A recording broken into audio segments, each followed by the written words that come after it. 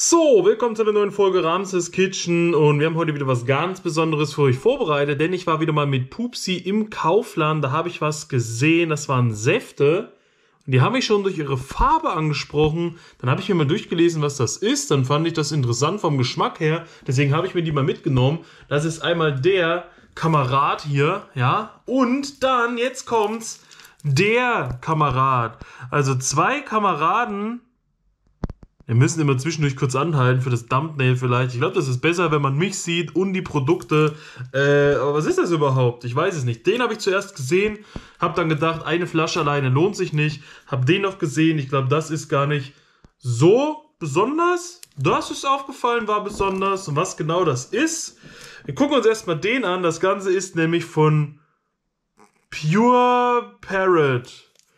Parrot müsste der Papagei sein. Das ist der der reine Papagei, der pure Papagei, aber pur, pur mit pur zu übersetzen ist irgendwie low. Deswegen ist das der Pure Parrot, ne? Wenn ich das so rumnehme, seht ihr hier Pure Parrot plus Saft. The Sunny Side, Ananas, Mango, Jutsu und andere Früchte. Wenn wir gleich hier drauf gucken, sehen wir Pure Parrot plus Saft, The Blues mit Apfel, Kokos, Wasser, Guave und andere Früchte. Was heißt andere Früchte? Was ist da noch drin? Und wir wollen die natürlich mal testen, aber was haben wir sonst noch, was wir hier vorlesen können? Wir haben also Sunnyside, Ananas, Mango, Jutsu. Hinten steht Meerfruchtsaft mit Ananas, 40% Orangensaft, Mango, Mark, Apfelsaft, Passionsfruchtsaft und Jutsu-Saft. Jutsu-Saft aber nur 0,6%. Was ist Jutsu-Saft? Habe ich auf jeden Fall noch nie gehört. Ähm, soll, soll sehr frisch sein, sehr fruchtig, sehr lecker, frisch hier presst. Sieht auf jeden Fall interessant aus. Wir machen das auch direkt mal auf. Wir probieren das jetzt mal. Ich wär, ach, muss man das schütteln? Da ist bestimmt keine Kohlensäure drin. Wir schütteln es einfach mal, machen das mal auf. Gucke mal, wenn wir uns das einschenken in ein Glas, und da möchten bestimmt noch andere von trinken. Corona, ihr wisst Bescheid, deswegen nehmen wir uns das Bierglas vom Homer, schenken das mal hier ein.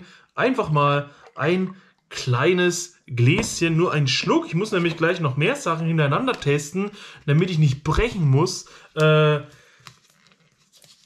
stellen wir das jetzt hier an die Seite, ne? Pure Parrot Saft, The Sunny Side, Ananas, Mango, Jutsu und was noch dabei ist, Orange,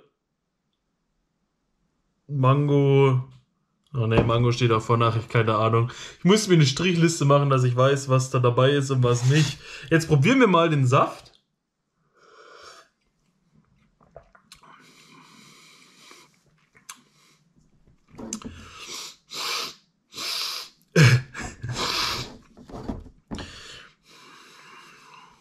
Was ich am meisten rausschmecke, ist komischerweise das Mango. Jutsu weiß ich ja keine Ahnung, was das ist. Passionsfruchtsaft, keine Ahnung. Orangensaft, ja, daher auch die Farbe zusätzlich mit dem Mango. Ananas 40, Mango 16. Ich finde am meisten trotzdem eine Mangonode, auch Mangosaft hat eine ganz andere Konsistenz als jetzt Orangensaft. Der ist irgendwie so, der ist, der wiegt mehr. Ich weiß nicht, ob man weiß, was das bedeuten soll. Der wiegt einfach mehr. Probiert mal Orangensaft, der ist so leicht. Trinkt Mangosaft, der wiegt einfach mehr. Der ist schwerer auf der Zunge.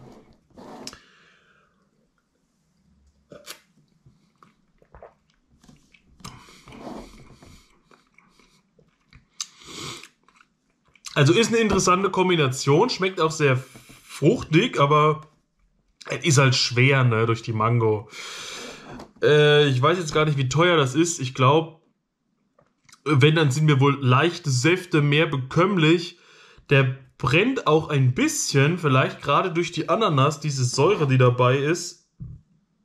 Äh, Apfel ist ja auch ein bisschen säuerlich immer und ja, der, es, es schmeckt sogar so, als hätte der irgendwie eine kleine Schärfe mit bei.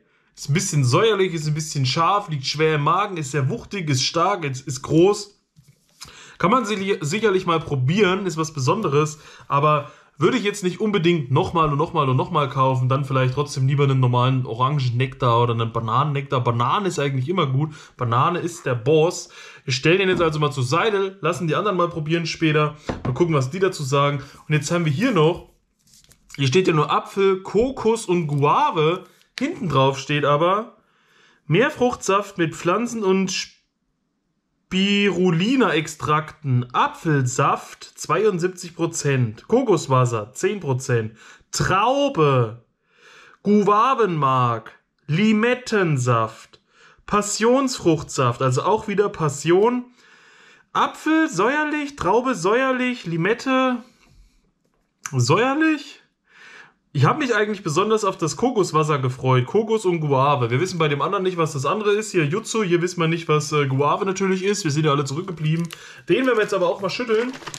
Ich denke mal, der hat trotzdem einen eher besonderen Geschmack und ist einzigartiger, sodass wir vielleicht diesen empfehlen können und den anderen eben nicht empfehlen, weil ihr bei dem anderen auch einfach einen Mangosaft kaufen könnt. Und dann habt ihr eben explizit diesen Mango-Geschmack, der so extrem im Vordergrund war. Hier dachte ich jetzt, okay, da kommt so ein Kokosgeruch durch, aber wenn ich rieche dran und denke, ich stehe in der Garage und habe einen Farbeimer aufgemacht, riecht also etwas, äh, etwas modrig. ja, ich bin mal gespannt. Ich glaube, das Kokos geht wieder komplett unter und die äh, sauren, äh, kräftigen Sachen überwiegen.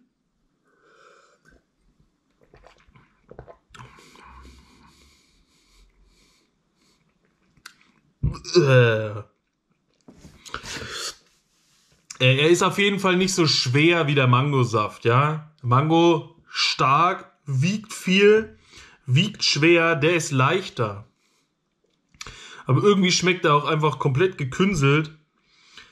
Ihr habt diese Mischung aus diesem Apfelzeugs, alles essigmäßig, so richtig säuerlich. Kokos, wie gesagt, Kokosgeschmack ist wohl bei, aber diese Kombination aus diesen ganzen säuerlichen Früchten mit Kokos, es schmeckt halt wirklich wie ein, wie ein Eimer Farbe. Keine Ahnung. Da ist extra, die Färbung kommt ja auch nur, weil da extra noch äh, färbendes Lebensmittelextrakt aus Spirulina und Apfel. Das, dadurch wurde das gefärbt. Aus Spirulina-Extrakt. Was auch immer das sein soll.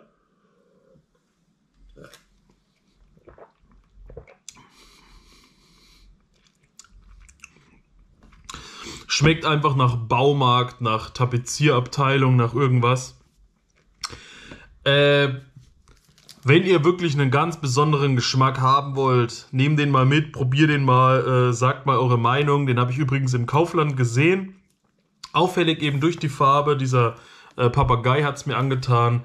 Wie gesagt, normaler Mangosaft, so explizit im Vordergrund, muss man nicht unbedingt. Hier besonderer Saft kann man, aber ich würde jetzt nicht sagen, dass er sonderlich gut schmeckt. Normalerweise würde ich jetzt eine Dose 5,0er Dosenbier aufmachen, um diesen ekligen Geschmack wegzukriegen und mir was Gutes zu gönnen. Aber ich muss ja jetzt noch zwei Folgen, zwei andere Folgen am Stück aufnehmen und dann noch irgendwo hin. Deswegen, wenn, dann kann ich das vielleicht am Ende der dritten Folge heimlich, ohne dass es jemand mitkriegt, oder heute gar nicht obwohl, wenn ich dann schon drei Folgen gemacht habe und mir das dann noch reinpumpt, mein Magen ist, glaube ich, jetzt schon voll von den zwei Säften, egal. Das war es jetzt von meiner Seite. Wenn ihr den auch schon mal gesehen habt, probiert habt, getestet habt, schreibt es mal in die Kommentare oder ob ihr euch den holen würdet. Wie gesagt, gibt es im Kaufland. Das war es jetzt von meiner Seite aus. Wir sehen uns beim nächsten Mal. Bis dahin, Peace out, Vorhaut, euer Ramses.